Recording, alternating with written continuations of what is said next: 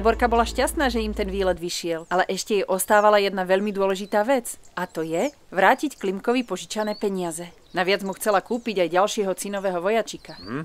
Aj tak mi nejde do hlavy, ako je to možné, že tá Barborka ten klobúk predsa len kúpila, aj keď vedela, že jej už neostanú žiadne peniaze? Hm? Reklama je veľmi silná zbraň a dokáže zlákať nielen permoníka. Barborka si zaumienila, že tie peniaze musí vrátiť čím skôr. Rozmýšľala, kde by ich tak mohla zarobiť a tak každú sobotu pomáhala v cukrárni Permoník, kým sa iné permonické deti hrali. Bola z toho unavená, ale chápala, že dlhy treba splatiť. Nechceli by ste niečím pomôcť? A s čím? S jedením koláčov? Nie, vyzerám ako permoník. To by som sa k vašej cukrárni hodila. Možno by som vám aj priniesla šťastie. Porozmýšľam. Poď, budeš nám pomáhať.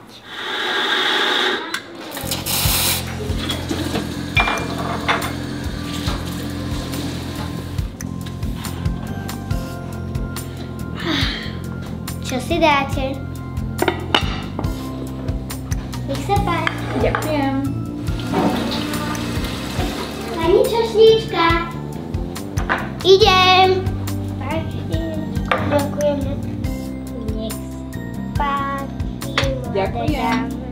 Ty vyzeráš ako permoník. Dáte si ešte? O, už nevládzem. Dobre.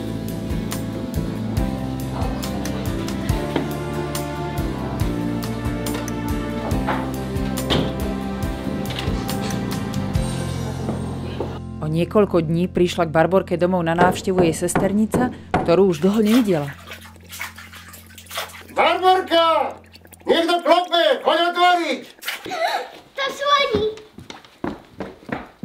Hej, dobrý večer.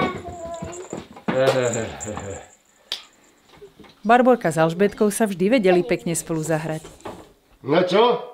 Čo nové u vás? Štvolní v Hodruši. Ale vieš čo, tá ich nám zalia chodby a teraz tam máme kúpele. Ale tam ja nechodím, lebo tam sú teraz povinné kúpacie čiapky. No a to ja neznášam. Potom vyzerám jak debo.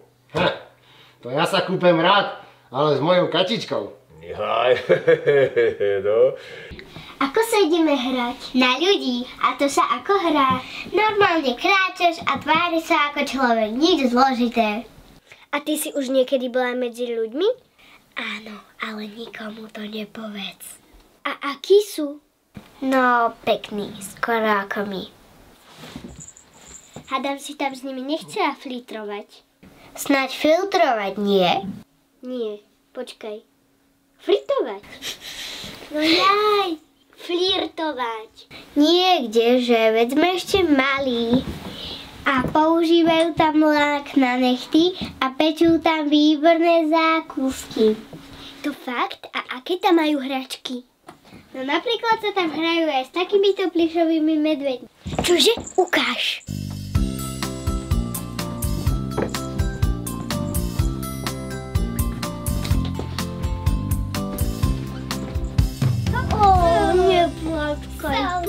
Dáme do kočíka. Ideme si pospinkať a bude ráno dobre. No a čo ozaj u vás v Kremnici? Ako dolujete to zlato? No, normálne. Väčšinou vykopeme tri chodby a my sa vydáme vždy tou strednou. Takzvanou zlatou strednou cestou. Jasné, poznám, poznám túto technológiu, hej. No ale niekedy sa stane, že vykopeme len dve chodby. No a potom buď mudrý, že ktorá je tá zlatá stredná. Hm, vieš čo? Dajme si. Daj si, dajme si. Viete. Aha. Mm. No, výborné, výborné. No. Ináč to je zaujímavé, že hoci jeme, tak nám nič neobúda. Tajomstvo šéf kuchára. Paráda. No. No. Poď ideme za Dorotku. Tak, my už ideme. Alžbetka, už sa dohraj, odchádzame.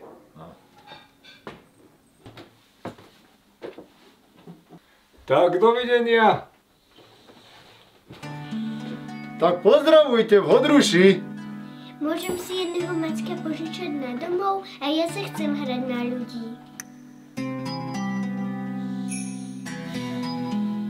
Keď už Alžbetka musela odísť, zrazu zosmutnila. Tak veľmi by sa ešte chcela pohrať s tým Macom.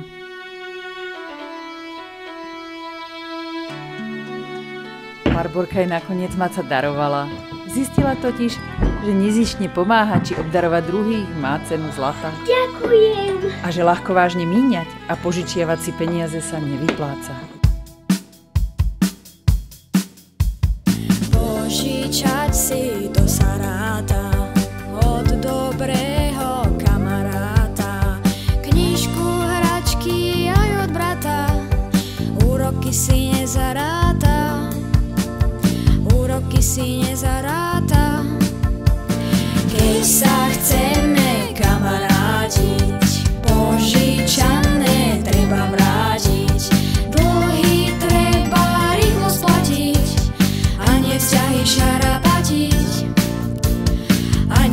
Nie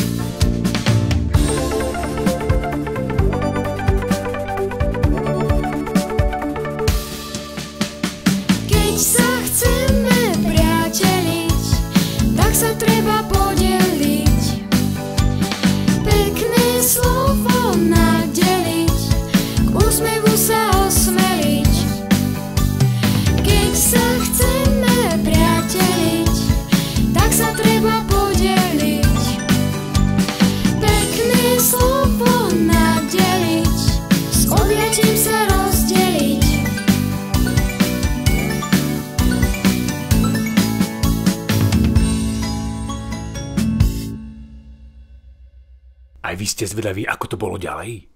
To nám líštička prezradí na budúce.